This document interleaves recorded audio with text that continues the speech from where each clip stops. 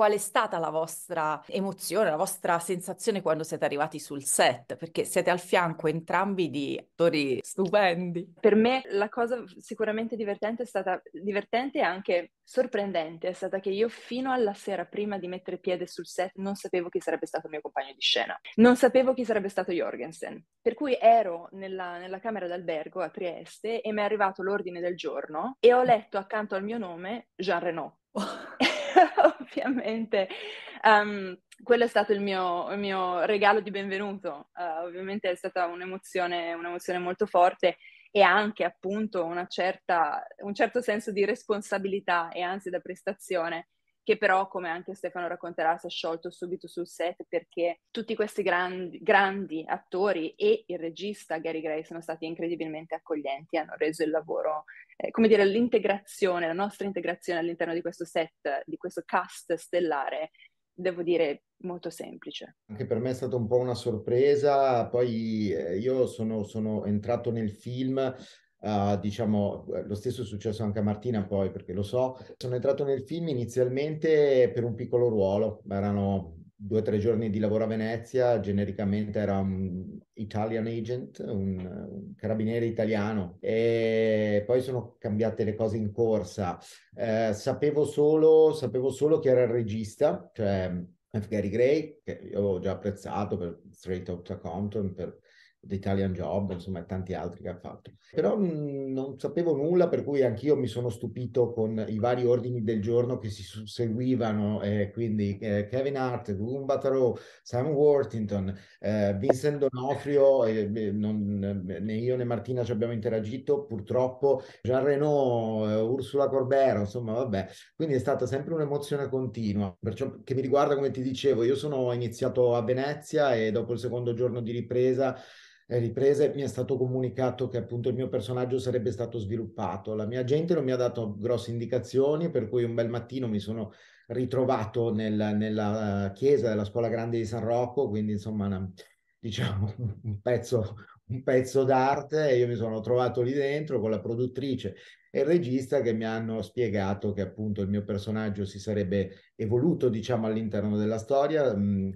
e, e, e, avrebbe preso il mio nome per cui questo, questo, carabiniere italiano che si occupa di tutela dei beni culturali si chiama nel film eh, Stefano. E quindi io poi li ho seguiti diciamo a Venezia poi a Trieste eh, dove, dove io e Martina ci siamo incontrati poi Belfast poi Londra quando abbiamo recitato uh, negli studios dove uh, io e Martina ci siamo reincontrati una seconda volta. Quindi, insomma, grande soddisfazione, penso, no? per un attore, eh, iniziare sì, con sì. una parte più piccola, tra virgolette, con poche pose, e poi invece vedere che il proprio personaggio viene sviluppato vuol dire sì che è interessante il personaggio, ma evidentemente anche l'attore ha saputo dare qualcosa in più che uno magari non si aspettava, forse penso. Non lo so, non lo so, io, io la, la voglio leggere in questo modo. Io credo che Gary si sia dato la possibilità di eh, incuriosirsi durante questo film. E quindi è successo questo, questa grande magia è successa a me, è successa a Martina ed ecco perché siamo qui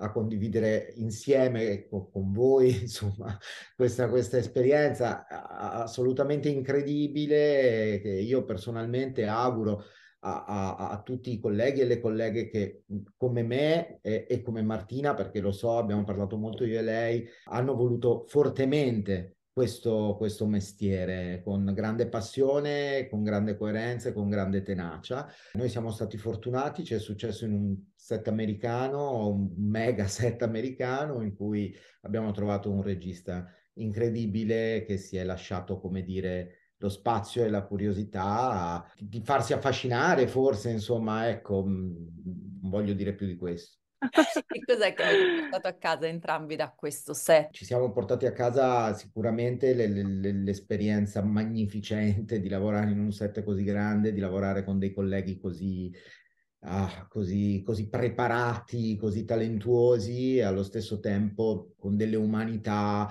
molto molto interessanti dal mio punto di vista, cioè quindi delle persone molto sensibili, molto attente. Questa è una cosa che mi è, mi è piaciuta molto, è la grandezza dei grandi appunto, è quella di essere delle persone semplici nel, nel senso più, più bello che questa parola ovviamente contiene. Ho interagito in maniera particolare, diciamo, con, con Gugun Bataro, che, che, che, interpreta Abby, che è il mio primo capo, diciamo, durante questa indagine, e mm, Sam Worthington, che è il nostro capo supremo, diciamo. Io seguo questa, questa operazione dell'Interpol, no? Che, insomma, poi molto ha raccontato già Martina, appunto, raccontando il suo personaggio. Io mm, seguo questa, questa operazione mastodontica di polizia. Sam in particolar modo, devo dire, perché abbiamo avuto più scene ecco, insieme, si è rivelato una persona veramente incredibile, abbiamo chiacchierato molto, abbiamo parlato delle, delle nostre rispettive visioni eh, rispetto a questo mestiere, ci sono stati dei momenti in cui me sono state cambiate le battute tipo il giorno prima e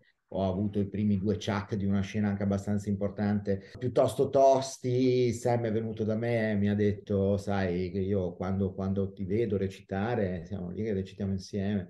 Eh, dice: Mi piace molto perché dai tuoi occhi io vedo che pensi a tutto quello che dici. La cosa buffa in questo momento è che ti vedo pensare due volte una in italiano e una in inglese, ma mi ha detto se fosse successo a me in italiano staremmo qui tutta la giornata, quindi vai tranquillo e abbiamo portato a casa. Insomma, è, è una persona che ti, ti, ti, ti, sprona in questo modo, cioè con sensibilità e ironia allo stesso tempo, io non posso che apprezzarlo moltissimo e mi ha dato, mi ha dato una grande mano, ho portato a casa dei grandi insegnamenti da, da, da, dai nostri colleghi e da Gary ovviamente, insomma, un grande maestro del cinema, un grande cineasta.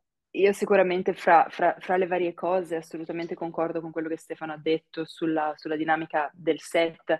Um, porto a casa il privilegio e la bellezza di aver lavorato con, con Jean Reno, sicuramente.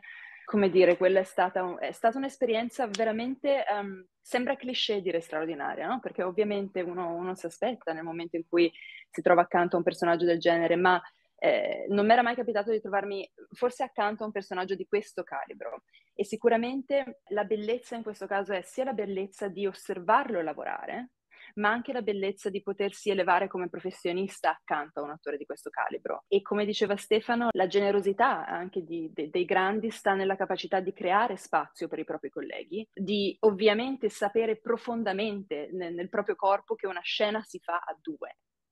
Um, chiunque l'altro attore sia. E, ehm, e Jean, le, anche quando la telecamera era su di me, ehm, è sempre stato lui a darmi tutte le battute. Non c'è stato un momento in cui abbia lasciato il, il set. Um, non c'è stato un momento in cui mi siano state date battute da un backup artist, da una spalla, è sempre stato presente. E una delle, una delle cose che, che, lui spesso racconta è l'importanza del, del teatro eh, per un attore e la sua presenza scenica è una presenza palcoscenica, è presente sul set come sarebbe presente sul palcoscenico. E come tale conosce la, la sa, sa, e regala la necessità di danzare a due in una scena. E quindi per me questa la possibilità di occupare uno spazio stando accanto a Jean Reno è stato un regalo eh, importante perché ovviamente si tratta di uno spazio grande da occupare e me lo sono presa tutto il più possibile. Uh, ho cercato di sfruttarlo al meglio perché non, non ho intenzione di sprecare un regalo del genere, assolutamente.